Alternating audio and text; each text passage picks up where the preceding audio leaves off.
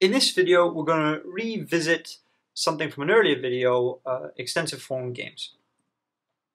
So an extensive form game is defined on a tree where our nodes represent uh, decisions made by players and these nodes can live in information sets. So for example, if there was a dotted line between these two nodes, that would mean that Celine had the same amount of information uh, at either. In other words, that Celine doesn't know whether or not Bob has chosen comedy or sports. And then on the leaves of the trees, we have the utilities. Two important definitions, sequential rationality.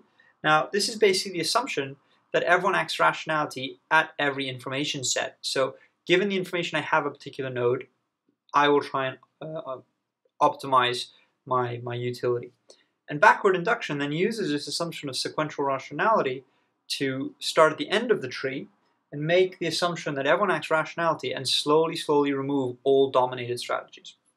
And this allows us to obtain a Nash equilibrium.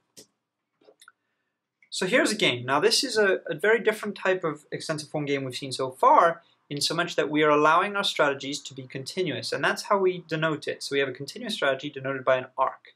So the leader will choose some number A and we're to say real numbers A and the follower will then choose another number uh, another real number, uh, b. And then the utilities are given here. So the leader will get a utility of 2ab minus 8b squared plus 3a, and the follower ab minus b squared. Now, because of sequential rationality, we know that at this information set here, the follower will choose a b that optimizes this. Because of the form of this quadratic, we know that we can simply um, differentiate this, and we will get the optimal uh, the optimal value that maximizes that inverted parabola. And so we see that b star is equal to a divided by 2. So no matter, for any given value of a that the leader chooses, the follower will choose a divided by 2. Now, in essence, we can remove a bunch of dominated strategies.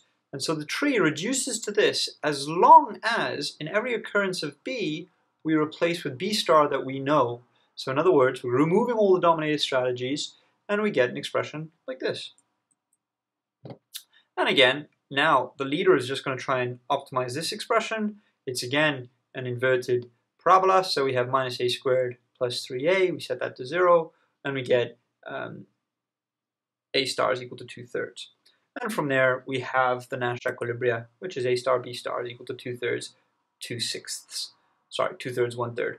Because, uh, remember, b star was equal to a half of a star.